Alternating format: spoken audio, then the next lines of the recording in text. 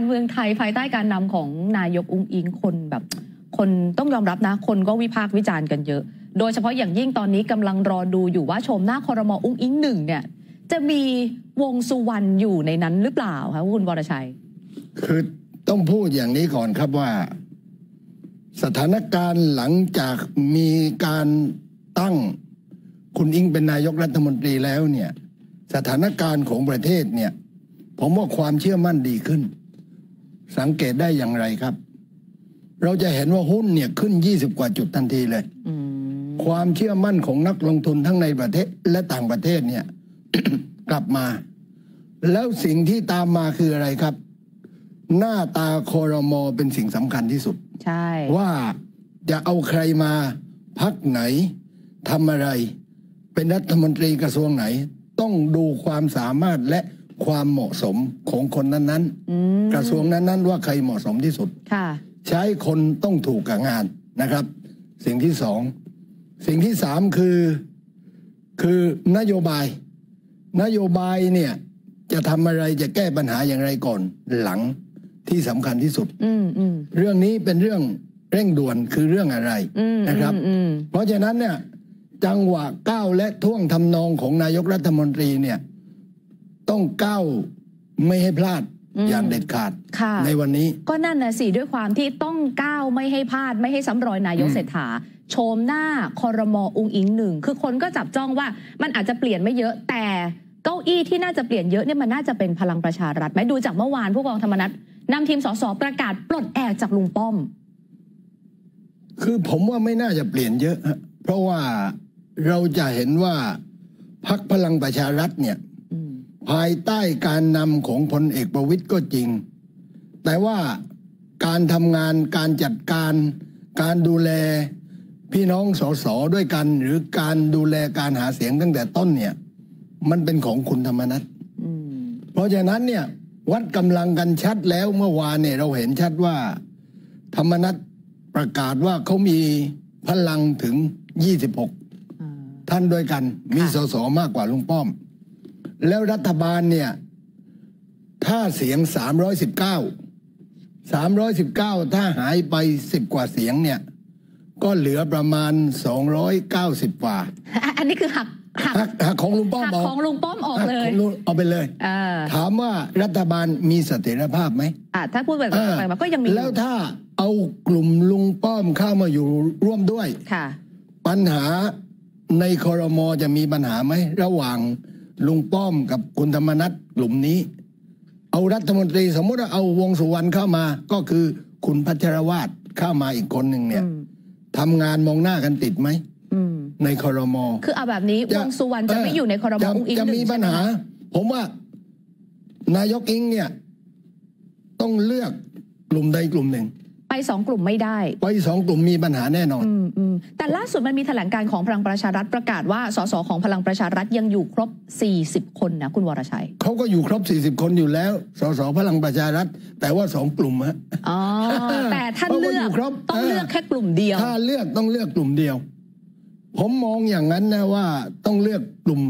กลุ่มเดียวคำว่าแล้วเลือกควรจะเลือกกลุ่มไหนคำว่าเลือกกลุ่มเดียวแปลว่าอะไรคุณวรชัยตรงนี้คือก่อนคือ ตามข่าวตามความเป็นจริงเราเห็นอยู่แล้วว่า การแถลงข่าวของคุณธรรมนัฐเมื่อวานก็คือเขาอิสระไม่ขึ้นกับพักไม่ไม่ขึ้นกับพักคือใครไม่ขึ้นกับลุงป้อม พูดชัดเลยนะ ไม่ขึ้นกับลุงป้อม เพราะฉะนั้นในเมื่อธรรมนัฐประกาศชัดอย่างนี้ว่าไม่ขึ้นกับลุงป้อม เขาก็เอาสอสอ26 คนเนี่ยมาสนับสนุนรัฐบาลเอาแบบยกนี้มือให้คำว่าเอเลือกกลุ่มใดกลุ่มหนึ่งก็คือ สองกลุ่มเนี้ยมีโควต้ารัฐมนตรีเออแล้วสองกลุ่มเลยใช่ถูกไหมต้องเลือกโคโควต้ารัฐมนตรีแค่กลุ่มเดียว กลุ่มเดียวกลุ่มเดียวทำไม เลือกกลุ่มผู้กองธรรมนัฐหรือกลุ่มลุงป้อม ผมผมว่าเอาอย่างนี้ ถ้าเป็นผมหรือว่าใครก็ตามเนี่ย ใครจะไปเลือกกลุ่มลุงป้อม เพราะหนึ่งตอนเลือกท่านนายกเศรษฐานายกนิดเนี่ยลุงป้อมยกมือให้ไหมอะไม่ได้ไปมั้งวันนั้นอ่าไม่ได้ไปอ้าวอ้างว่าไม่สบาย แล้ว ไม่สบายซ้ำซากเหรอซ้ำสองเหรอโหวตให้นายกอิงเนี่ย ติดธุระเอาติดธุระโหวตนายอีกกแล้วอุ้งอิงติดธุระอ่านี่คืออะไรอะนี่คือเรื่องสำคัญที่สุดคือการโหวตนายกรัฐมนตรี ในการที่ร่วมรัฐบาลด้วยกัน แล้วหัวหน้าพักไม่มาร่วม ผิดธรรมเนียมปฏิบัติผิดถ้าถ้าเทียบว่าคุณมีจริยธรรมไหมพูด อย่างนี้ก็ ลุงป้อมก็ไม่มีจริยธรคืรอมกำลังจะบอกว่าการอ่ที่ลุงป้อมไม่ไปอ่าโหวตคุณลุงอิงเป็นนายกใช่คือฟางเส้นสุดท้ายที่เพื่อไทยไม่เอาวงสุวยัรงรณนะอีกยังเหรออีคะกเรื่องหนึ่งเนี่ย เรื่องที่สำคัญที่เห็นกันชัดเลยอืมการเขียนสำนวนในการยื่นสารเนี่ย คล้ายๆ กับเพื่อนผมเขียน ผมรู้จักดี อันนี้คือหมายถึงคดี 40 สว 40 สว ยื่นสาร40 สว อดีต แล้วก็ 40 สวนั้นเนี่ย เราก็เห็นชัดว่า เป็นคนสายลุงป้อมเกือบทั้งนั้นเลย ไม่แต่ดิฉันก็เคยคุยกับตัวแทนของอดีต 40 สวที่ไปยื่นท่านก็ยืนยันว่าเป็นการใช้สิทธิตามรัฐธรรมนูญไม่ใช่ใบสั่งของใครนะคะ คือคือเรื่องนี้เนี่ย ผมว่ามีความเป็นไป มีความเป็นมาเขาเขาหมดวาระแล้ว แล้วอยู่ๆมายื่นอย่างเนี้ยเอ่อยื่นถอดถอนนายกเศรษฐา ซึ่งมันมีในยยะทางการเมืองอืมผมมองว่า เรื่องสำคัญในวันนั้นเนี่ย มีข่าวว่านายกยิ่งรักษณ์จะกลับประเทศอย่างเท่ๆ แล้วกลับยังไงอะก็มีการคิดกันไปเอง มีการตีความกันไปเองว่า แล้วท่านภูมิธรรมเนี่ย พี่อ้วนเราเนี่ย ไปชิมข้าว ผมเคยพูดหลายรอบแล้วเรื่องเนี้ยไปชิมข้าวข้าวสิบปีไม่เน่าแล้วข้าวสองปีเน่าอย่างไร ใช่ไหมครับ เพราะฉะนั้นอะ พอชิมข้าว พอข้าว สองปี ขายไปโลหกบาท เป็นข้าวเน่า ข้าวสิบปีขายได้สิบแปดบาทสิบเก้าบาทเนี่ย มันก็กระทบถึงเรื่องที่คิดว่าคุณพิชิตชื่นบานจะรื้อคดีของนายกยิ่งรักษณ์อ๋อคือกำลังมองว่ามันเชื่อมกันถ้าทั้งหมดถ้าถ้ากลับเท่ๆนี่ก็คือคดีจำนำข้าวถือว่าไม่ผิด ไม่ไม่ไม่แต่แต่คำถามที่ฉันถามคือ ถ้าเคาะตอนนี้เลยลุงป้อมกลับไปอยู่บ้านป่าแล้วผู้กองธรรมนัฐ กลุ่มนี้ยังร่วมรัฐบาลต่อใช่ไหม เขาก็โหวตให้แล้วก็เป็นรัฐบาลร่วมกันมาตั้งสองรอบ ใช่ไหมครับ ก็คุณธรรมนัฐเขาอยู่กับกับรัฐบาลเพื่อไทย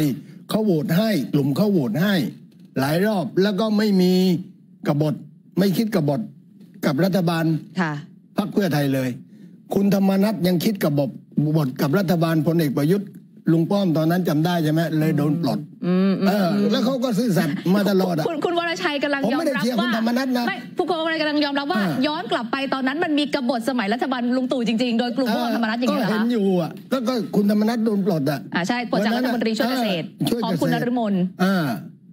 นี่คือคือสภาพว่าคือกำลังจะบอกว่าผู้กองธรรมนัฐซื่อสัตย์กับเพื่อไทยมาตลอด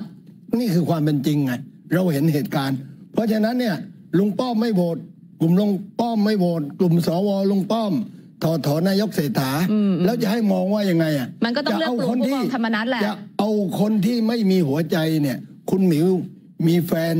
รักคนไหนอะรักคนที่เรารักหรือว่ารักคนที่เขาไม่รักเราอะ เราจะอยู่กับคนไหนอะรักคนที่เรารักถ้ขเราสิอ่าใช่ไหมต้องอยู่กับคนที่เขารักไม่แต่เราที่ฉันคาใจนิดนึงคือเออตอนที่ผู้กองธรรมนัฐให้สัมภาษณ์อะนะคะว่า เป็นไปได้ไหมที่จะไปแบบไปกันทั้งสองกลุ่ม ผู้กองธรรมนัฐบอกว่าสุดท้ายมันอาจจะมีตายอยู่คำถามคือตายอยู่คือใคร หรือประชาธิปัตย์จะถูกดึงมาร่วมรัฐบาลด้วย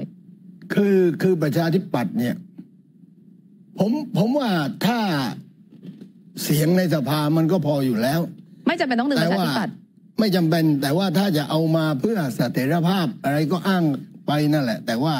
ผมว่าแค่นี้มันก็พออยู่แล้ว แล้วแล้วอย่าลืมนะว่าพรรคประชาธิปัตย์เนี่ย มันเป็นความรู้สึกลึกๆของพี่น้องเราเยอะว่าเหตุการณ์ที่ 99 ศพที่เราพวกเราตายเนี่ยเกิดขึ้นในยุคประชาธิปัตย์ อ๋ออาจจะมียังเอมีอคอาจวามจะรู้สึกมีอยู่ในใจความรู้สึกในใจอยู่บ้าง แต่ก็ไม่การันตีว่าจะดึงหรือไม่ดึงประชาธิปัตย์มาร่วมรัฐบาลแต่ถูกไหมคะแต่ว่ามันก็ไม่เกี่ยวกับชุดนี้อ่าคนละอ่าชุด แต่อ่าว่าความรู้สึกบางคนอาจจะยังไม่เข้าใจ ต้องค่อยค่อยอธิบายให้มวลชนได้เข้าใจว่าเฮ้ยเคยมีปัญหาเรื่องอย่างนี้มานะ มีแผลกันอยู่เออมีแผลกันอยู่ค่ะ จะเป็นความรู้สึกที่ที่พวกก ลุ่มหนึ่งอะที่ถูกกระทำในยุคนั้น แต่แปลว่าไม่ได้ปิดประตูว่าประชาธิปัตย์จะไม่ได้ร่วมรัฐบาลเพราะตอนนี้มันมีข่าวเยอะมากเลยว่า จะเป็นกลุ่มของผู้กองธรรมนัฐได้โควต้าไปสามเก้าอี้ ประชาธิปัตย์ได้มาสองเก้าอี้ การเมืองในยุคสถานการณ์นี้อะไม่มีอะไรที่จะปิดประตู แล้วก็เปิดประตูร้อยเปอร์เซ็นใช่ไหมครับค่ะครับ หมายความว่าอย่างเช่นเปิดประตูร้อยเปอร์เซ็นเนี่ยให้มาสองกลุ่มเข้า ในสถานการณ์นี้ต้องเอากลุ่มเดียวอืมอืมสถานการณ์เนี่ยทางการเมืองเนี่ยมันเหมือนกระแสน้ำที่มันไหลอยู่ตลอดเวลา คุณวรชัยแล้วครับเลือกกลุ่มผู้กองธรรมนัฐไม่เอากลุ่มลุงป้อมไม่กลัวอิทธิฤทธิ์ลุงป้อมเหรอคะไม่กลัวเคี่ยวเล็บลุงป้คืออมเหรอคืออิทธิฤทธิ์ทุกคนน่ะมองอย่างนี้ถ้ามองอย่างนี้ ก็ตั้งรัฐบาลไม่ได้ ก็มีปัญหาตามมาอีกอะยอมรับไหมว่าลุงแล้ป้วอมยังถ้ามีเคี่ยวเล็บอถ้ายู่เข้าเข้าไปเป็นรัฐมนตรีร่วมรัฐบาลก็ใช้อิทธิฤทธิ์อย่างนั้นยิ่งกว่าอีก เพิ่มอิทธิฤทธิ์ให้อีกอะผมว่าบางทีต้องตัดตัดเพื่อให้สั้น ตัดเพื่อไม่ให้ไปต่อ ใช่ไหมครับ ถ้าเราให้เขาไปต่อเขายังมีอิทธิฤทธิ์อยู่อย่างนั้นแหละ แต่ว่าอิทธิฤทธิ์ใช้ในทางที่ถูกก็ไม่เป็นไร แต่ใช้ในทางที่ผิดถอดถอนนายกเศรษฐาอย่างเงี้ยหรือว่า ลุกขึ้นมาอภิปรายในการยื่นเสนอยื่นในการทำให้รัฐบาลเสียเสถียรภาพเนี่ยอืมอืมผมว่าไม่สมควร บางคนก็บอกว่าการที่ไม่อยากจะได้วงสุวรรณอยู่อ่าในครมอุ้งอิงหนึ่งเป็นความต้องการของคุณทักษิณหรือเปล่า ผมผมถ้าผมเป็นท่านนายกทักษิณนะท่านนายกทักษิณเนี่ย ท่านก็อ่านเหตุการณ์ออกมาตลอดว่าใคร มีความจริงใจกับประเทศชาติ และมีความผูกพันกับพรรคเพื่อไทย ท่านก็ต้องดูจุดนี้ แล้วถามว่าเกี่ยวอะไรกับท่านทักษิณนะก็เขาเป็นพ่อลูกกันกับคุณอิงอะ่ะอืมคนที่ว่ามันบ้าไปทุกคนแหละอืมเพราะว่าเป็นพ่อลูกกันไม่คุยไม่ดูแลไม่ปกป้องลูกได้ยังไงอะอ่าในฐานะที่พ่อและพ่อเคยเป็นนายกรัฐมนตรี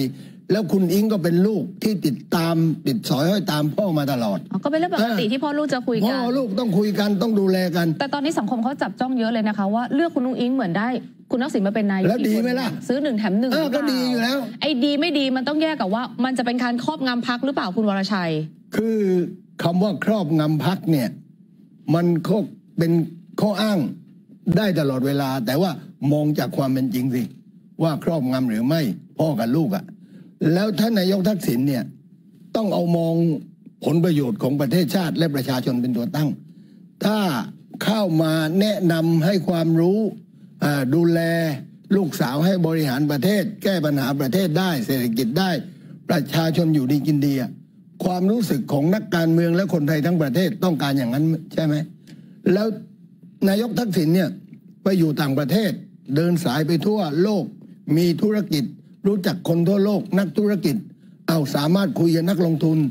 คุยกับนักธุรกิจต่างประเทศได้ คุยกับผู้นำได้ทั่วโลก แล้วเอาคนอย่างนี้มาเป็นพ่อของนายกรัฐมนตรีเนี่ยก็ท่านเป็นอยู่แล้วแหละคือจริงๆการเป็นพ่อเนี่ยหมายว่าไม่ใช่ปัญหานะคะปัญหาอ่าอยู่ที่ว่าจะเข้าข่ายครอบงำ แทรกแซงหรือเปล่าเพราะมันผิดกฎหมายและโทษสูงสุดคือขั้นยุบพักอย่างเมื่อวานเนี่ยคุณทักษิณให้สัมภาษณ์หลายอย่างอะอย่างเรื่องของดิจิทัลวอลเล็ตผมไม่ได้ครอบงำแต่ว่าครอบครองในฐานะพ่อกับลูกอืมตรงเนี้ยคือคนก็มองว่า เอ๊ะ ให้สัมภาษณ์เหมือนเป็นนายกรัฐมนตรีเลยนะ อะไรอย่างเงี้ยค่ะ ก็ให้สัมภาษณ์แทนลูกสาวก็พูดแทนลูกสาวทำไมจะไม่ได้อะก็แต่ว่าการตัดสินใจเป็นของนายกเขาก็แนะนำใช่ไหมเอาหรือไม่อยู่ที่นายกอิง ว่าจะเอาไหมสิ่งที่นายกทักษิณแนะนำอะ เออ ถ้าจะตีประเด็นเหมือนจริยธรรมบอกว่าครอบงำก็ตีไปดิ ประชาชนทั้งประเทศ มันก็ต้องลุกขึ้นมาปกป้อง นายกที่ทำงาน ให้ประเทศชาติ ถ้าประชาชนไม่ช่วยปกป้อง ให้คนแค่เก้าคนมาตัดสินว่าครอบงำอีกอย่างนั้นหรือ ใช่ไหมครับ เพราะว่าการที่ตัดสินเรื่องจริยธรรมคนห้าคนเนี่ย คนก็ออกมาวิจารณ์ค้านกันทั่วประเทศ คือกำลังจะบอกว่าเนักวิชาการหลายคน การออกมาให้สัมภาษณ์หรือพูดแทนลูกมันมันก็ไม่น่าจะผิดอะไร มันผิดตรงไหนมันครอบงำอย่างไงอะเออใช่ไหมครับก็ขึ้นอยู่แนะกับนำในสิ่งที่การตีความดีอืมๆเออว่าควรจะทำอย่างนี้ควรจะทำอย่างนี้ ผมเป็นลูก หรือว่าเป็นพ่อมีลูกหรือมีพ่อ พ่อแนะนำลูกได้ ลูกแนะนำพ่อได้ แต่ว่าไม่ใช่ว่าจะเป็นเนื้อเดียวกันทั้งหมด ถ้าไม่ดีคุณอิงเขาเป็นคนรุ่นใหม่ เขาก็ต้องบอกพ่อ พ่อไม่ได้นะ เรื่องนี้ไม่ถูกต้องนะเขาเชื่อว่าแบบหนูไม่ทำนะ เออเขาไม่ใช่ว่า เป็นคนคนคนมันสมองรุ่นใหม่ค่ะเอ่อท่านทักษิณมีประสบการณ์ จากเคยทำงานความสำเร็จ แก้ปัญหาประเทศได้ยาเสพติดปราบ กองทุนหมู่บ้าน 30 บาทรักษาทุกโรค ความคิดอันนั้นแล้วมาต่อยอดจากคุณอิงเนี่ย ประโยชน์สำหรับประชาชนไหมล่ะ คือเชื่อว่าคุณอุ้งอิงน่าจะเออแยกได้ว่าผมว่าโอเคจะปรึกษาในฐานะพ่อใช่ไม่ปล่อยให้คุณทักษิณเข้ามาข้อมันแต่ก่อนหน้านี้มันก็มีข่าวว่า ตอนคุณเศรษฐาหลุดจากเก้าอี้นายก ไปเลือก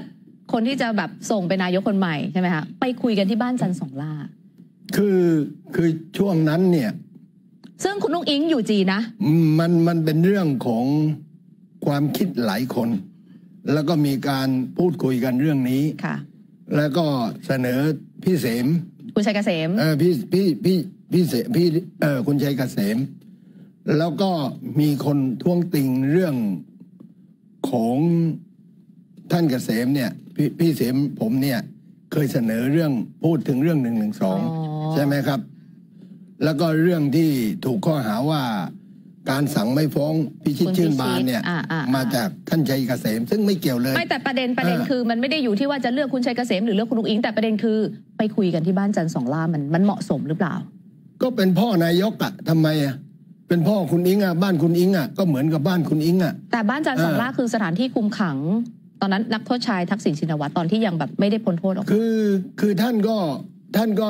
เป็นที่เป็นที่พักโทษ หรือว่าควบคุมอะไรก็ตามอะ คงไม่ได้ห้ามนี่ว่าไปคุยไม่ได้ คุยการเมืองไม่ได้อะแต่ในมิติเออความเหมาะสมบางคนบอกว่าเออวันก่อนที่ฉันนั่นๆคุยกับคุณหมอว่าคืโรงนั่คนดีอาจารย์อาบอกไปคุยที่โรงแรมก็ได้อ้างคุณเหมาะสมอ้างความเหมาะสมอะแล้วไปคุยโรงแรมต้องมีค่าใช้จ่ายทำไมอะไปคุยที่บ้านสะดวกสบาย ไปเหมือนกับไปเยี่ยมท่านนายกทักษิณด้วย ไม่เห็นเป็นไรเลย แล้วท่านก็เดินสายไปทั่วประเทศ ผมติดคุกมาก่อน แล้วก็ผมอยู่ในคุกอะผมรู้ว่าระเบียบราชทัณฑ์มันเป็นอย่างไร ไม่ได้ห้ามครับ ไม่ก็ได้คือห้ามถ้าไม่ได้ทำผิดกฎหมายเอก็อก็ไม่เห็นจะเป็นอะไรเลยเขามีถูกไหเงื่อคะนไขว่าต้องทำอะไรบ้างหนึ่งสองสามเขาไม่ได้ห้ามว่าห้ามนักการเมืองไปบ้าน ห้ามไปคุยการเมืองที่บ้านเออไม่มีข้อบังคับของอะราชทัณฑ์โอ้แต่ว่าคนจะพูดด่ามันก็พูดไปอย่างนั้นอะเออมาร่วมสนับสนุนท็อปนิวส์นำเสนอความจริงได้แล้ววันนี้ เพียงกดปุ่ม Super Thanks แล้วเลือกจำนวนเงินตามที่ต้องการได้เลยครับ ขอบคุณครับ